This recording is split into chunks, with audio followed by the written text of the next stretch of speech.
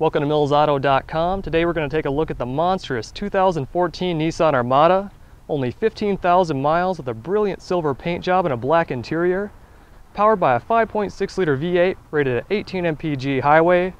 Four-wheel drive, limited slip differential, heated mirrors, premium sound system, satellite radio, Bluetooth, traction stability control. Almost too many features to list. Custom 22 inch wheels. Take a look at that, just awesome running boards on the side, rugged SUV, great for big families that don't want to sacrifice fun, blacked out grille, aggressive wide stance. If you like it, feel free to give us a call at 866-455-7638. We can get you some more information. Lots of interior space, good legroom and headroom, very comfortable. Power controls, easy to read dials, onboard screen, just a clean layout. Lots of storage. Everything kind of opens up.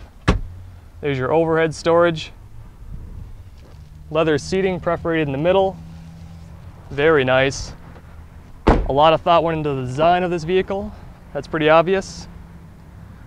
Lots of legroom and headroom again. Nobody's gonna be cramped, that's for sure. Adjustable headrests. Up here you've got your rear entertainment system just folds out. Nice distraction for the kids. Let's take a look at that third row. Plenty of space there. Definitely a passenger vehicle. And again, more overhead storage. No problems there.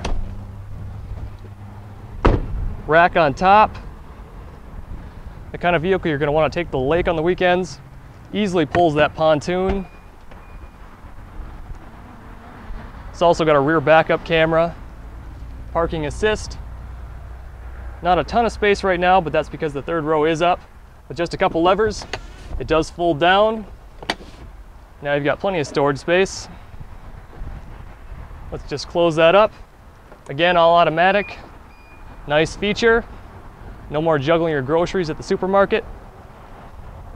Well, there you have it, the 2014 Nissan Armada, 15,000 miles.